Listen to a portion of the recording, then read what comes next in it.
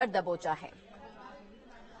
खबर मुरादाबाद से, जहाँ मुरादाबाद में थाना पाक बाड़ा थेना क्षेत्र में एक युवक का वीडियो सोशल मीडिया पर वायरल हो रहा है और जिसमें वो भारत को हिंदू राष्ट्र घोषित करने की बात कर रहा है और उसके साथ ही साथ दूसरे धर्म के लिए आपत्तिजनक टिप्पणी भी करता हुआ नज़र आ रहा है। वीडियो वायरल होने के बाद पुलिस ने संज्ञान लेकर केस दर्ज कर आरोपी युवक को गिरफ़्तार कर लिया है। सोशल मीडिया पर वायरल हो रहे वीडियो में एक संप्रदाय विशेष की धार्मिक भावनाएँ आहत होने की बात सामने आ रही है। बताते चले आपको कि 24 दिसंबर को एक ट्विटर यूज़र ने इस वीडियो की जानकारी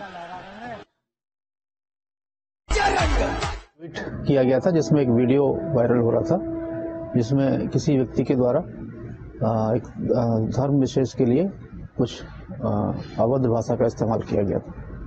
इस संबंध में थाना पागवाड़ा पर एक अभियोग पंजीकृत किया गया है, शिकायतकर्ता की ओर से। और जो व्यक्ति है उसका नाम उसकी पहचान की गई उसका नाम आकाश है। ये मेलकपुर माफ़ी का निवासी है। इसकी गिरफ्तारी की गई है और इसमें धार्मिक भावनाओं को ठेस पहुँचाने से संबंधित अभियोग पंजीकृत हुआ है। तो देखिए तस्वीरें वायरल होने के बाद पुलिस ने कार्रवाई करते हुए युवक को पकड़ लिया है और इस पूरे मामले पर जाँच की जा रही है। मैं भारत को हिंदू राष्ट्र घोषित कर का मानेंगे है।